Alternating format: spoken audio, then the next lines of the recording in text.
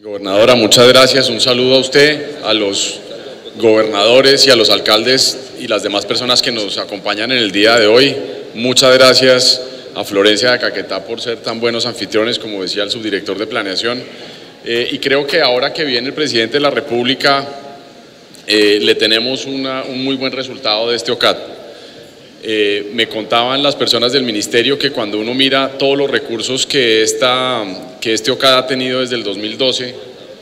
aprobados, si uno cuenta incluso el fin del bienio en 2018, hoy se aprobó el 41% de todos los recursos que ha habido desde 2012. Creo que eso es una muestra de toda la buena disposición que han tenido todas las partes para sacar un nivel de aprobación que es realmente impresionante, 26 proyectos y dos modificaciones. Entonces, pues creo que desde el punto de vista del gobierno nacional aquí se cumplió la tarea, felicitar a los equipos tanto de, los, de las gobernaciones, de las alcaldías, por supuesto, de planeación y los ministerios y especialmente de mi parte a la gente del Ministerio de Hacienda porque creo que hoy se logra un resultado eh, muy positivo. Eh, también, por supuesto, recordarles que en esta semana finalmente terminó la conciliación del acto legislativo que modifica el sistema general de regalías, que va a aportarle unos recursos importantes a eh, las actividades de paz, que ya como lo mencionaba el gobernador de Caquetá, esta es una zona donde el posconflicto ya está llegando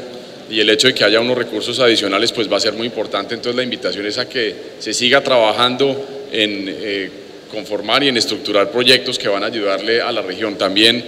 eh, vimos hoy cómo el diálogo entre los diferentes niveles de gobierno